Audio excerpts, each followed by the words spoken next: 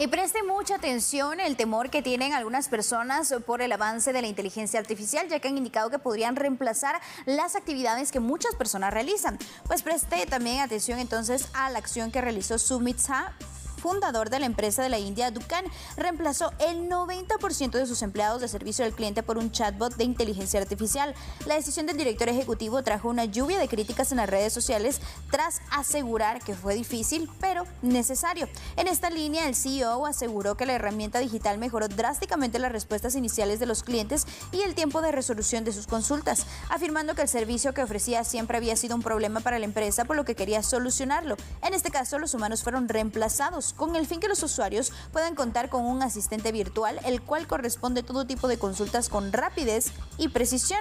Sumitsa fue acusado de trastornar la vida de sus empleados con su despiadada decisión. Entre las quejas en Internet, el dueño de la empresa aseguró que dará explicaciones sobre la asistencia a los empleados a través de LinkedIn, porque en Twitter la gente busca rentabilidad y no tanto simpatía.